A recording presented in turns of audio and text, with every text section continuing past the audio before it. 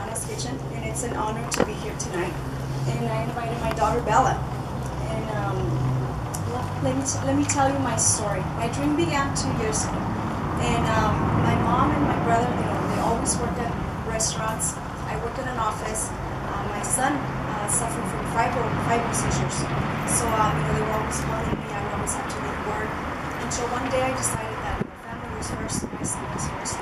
So I left my job and I decided to come home. And um, by that time, my mom was also, you know, she decided to leave her job, and my brother moved from uh, San Diego.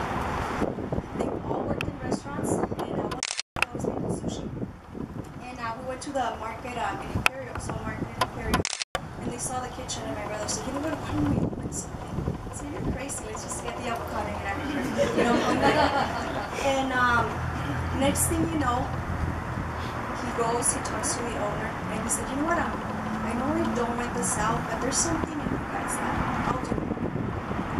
Within the next day, we were signing a contract. I literally had seven cents in my account. Seven cents in my bank account. Not knowing what I got myself into. I started my life for a year. Um, I didn't know what to expect. I didn't have any experience besides, you know, my mom's talent with food. And um, we began. Four months. We did so well that um, we getting a large. I was only to go, and um, to the point, you know, word got out there. You know, it's very homemade food. Um, people would start coming, you know, families, and they wanted to dine in, sit down. Unfortunately, we weren't able to expand inside the market. So um, at that point, I said, you know what? Maybe it's time for me to go. Maybe this is not for me. And then uh, someone invited me to a meeting in ISBDC. So you know what? There's a good meeting about um, businesses and um, I said, you know what? I said, what do I have to lose? I'll go and see if, you know, maybe they can help me out. Because obviously I needed money to get out of there. And um, we had it already invested in what we had. And uh, that's where I met and Marissa and where I heard about this option. And um, unbelievable, they were able to help me out because of the funding and because of the um, loan that they were able to. I was able to expand. Now we're in our second location, and um, we have about we sit about uh, 30 to 40 people, and um, it's been two years in the process, and we're ready to move and expand one more time. So um, I can't thank um, Maxolina for believing in me and uh, for giving me that opportunity. And also, you know, I've met great people along the way.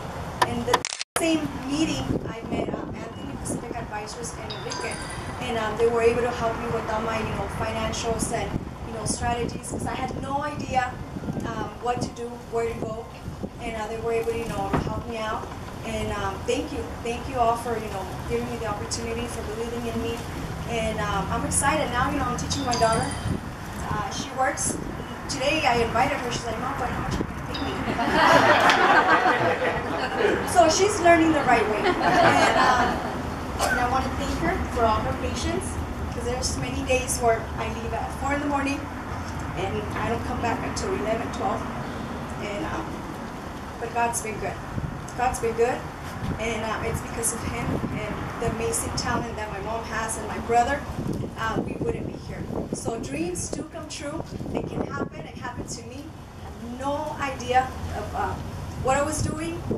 Now, you know, I feel I we've accomplished so much that I'm ready, you know, for the next step. And um, thank you. We invite you all. Hopefully, you all got a, a ticket for a free drink uh, next time you stop by. If not, stop by our um, our booth right here and you know get a ticket so you can get a small drink. And thank you, thank you, and um, you know I encourage everyone to you know reach out for your dreams. You know, don't stop believing, don't stop dreaming. And I just recently um, joined with Teresa, uh, Nana's Delight Desserts.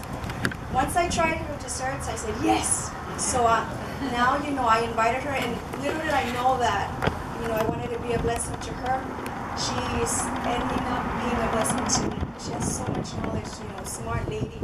That uh, now she's teaching me so much how to control and manage um, my business. So I uh, thank you, thank you that I said. Hopefully, you know, we can grow together. And uh, thank you, Accion, for uh, this opportunity. And you continue enjoying your night tonight.